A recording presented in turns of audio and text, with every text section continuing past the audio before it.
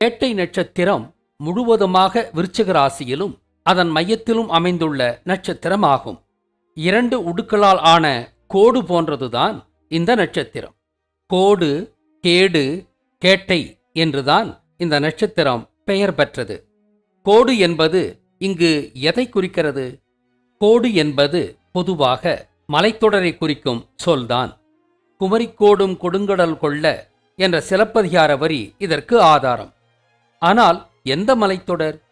அதைச் சொல்வதுதான் இந்த நட்சத்திரத்தின் சமஸ்கிருத பெயரான ஜயஸ்தா என்பது. ஜயஸ்தா என்ற பெயர் தமிழில் தவ்வையை குறிக்கும். ஆனால் தவ்வை என்பது காந்தாரி சீதை துர்க்கை ஆகிய மூவரையும் குறிக்கும் என்று ஏற்கனவே விழியம் செய்துள்ளோம். பிராமணனால் ராமனின் மனைவியாக சொல்லப்படும் சீதை மேற்கு தொடர்ச்சி மலையில் ஊட்டி பகுதிக்கானவள் சகுனி மற்றும் திருதராஷ்டிரனின் மனைவியான காந்தாரி மேற்கு தொடர்ச்சி மலையில் கொல்லம் பகுதிக்கானவள். பரசுராமனின் மனைவியான துர்க்கை மேற்கு தொடர்ச்சி மலையில் உடுப்பி பகுதிக்கானவள். இவர்கள் மூவரின் கணவர்கள் தமிழருக்கு பேரழிவை ஏற்படுத்தியவர்கள் மட்டுமல்ல இவர்கள் வாழ்ந்த இடங்கள் என்பது மேற்கூறிய மேற்கு தொடர்ச்சி மலைப்பகுதிகள்தான். ஆக கோடு என்பது இங்கு மேற்கு தொடர்ச்சி மலையைத்தான் குறிக்கும். அதுதானே இராமாயண போர் மகாபாரத போர் மற்றும் கலவரப்போர் நிகழ காரணமான மலைத்தொடர். ஆக இந்த நட்சத்திரம் அழிவை குறிக்கும் நட்சத்திரம்தான். திருமால் காலத்தில் பரசுராமனோ துர்க்கையோ தவ்வையோ இல்லை என்பதால் தவ்வை மற்றும் ஜெயஸ்தா என்ற பெயர்கள் பிற்காலத்தில் பிராமணனால் இடப்பட்ட பெயர்தான் என்பது தெளிவு. தவ்வை என்பது ஏழாம் நூற்றாண்டில் பல்லவ ஆட்சி பகுதியில் பிராமணன் உருவாக்கிய அழிவின் உருவகம். அதை வழிபட்டால் நமக்கு நாசம் உண்டாக வேண்டும் என்ற எண்ணத்தில் உருவாக்கப்பட்ட உருவகம்தான் இது. இதன்படி கேட்டை நட்சத்திரத்தை திருமால் ராமன் மற்றும் சகுனியை குறித்தே உருவாக்கியிருக்க வேண்டும். அதிலும் குறிப்பாக சகுனி காந்தாரியின் பெயரால்தான் இந்த நட்சத்திரத்தை உருவாக்கியிருக்க வேண்டும். எப்படி?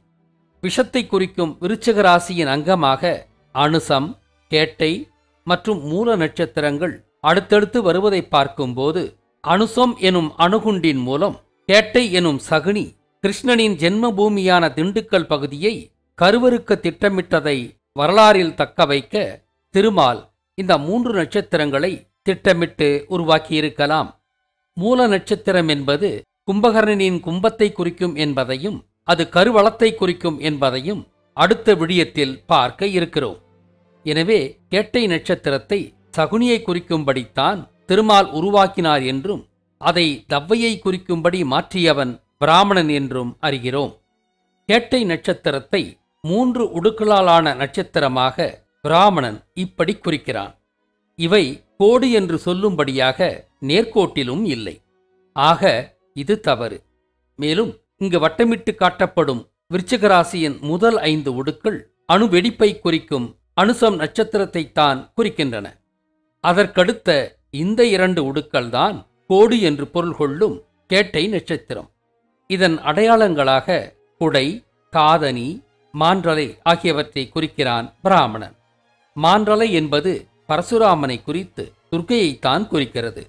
காதனி என்பது திருதராஷ்டிரனை மயக்கிய காந்தாரியின் காதனியாக இருக்கலாம். குடை என்பது எதை குறிக்கிறது? ராமாயணத்தின்படி சீதையின் கணவனான ராமனை கொன்றது இந்திரன்தானே இந்திரன் வருண பகவானும் மேற்கு திசைக்கானவனும் தானே. அதாவது வாஸ்து திசைகளின்படி மேற்கு என்பது வருண திசைதானே தென்மேற்கு பருவமழை மேற்கு தொடர்ச்சி மலையில்தானே பொழிகிறது. ஆக இந்திரன் எனும் வருணனுக்கு எதிராகத்தானே நாம் குடைபிடிக்கிறோம்.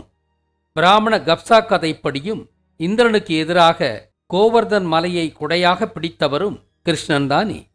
ஆக கேட்டை நட்சத்திரத்தின் அடையாளமாக குடை வந்த காரணம் புரிகிறதா? ஆக இந்த நட்சத்திரத்தின் அடையாளங்களை விளக்கிவிட்டோம்.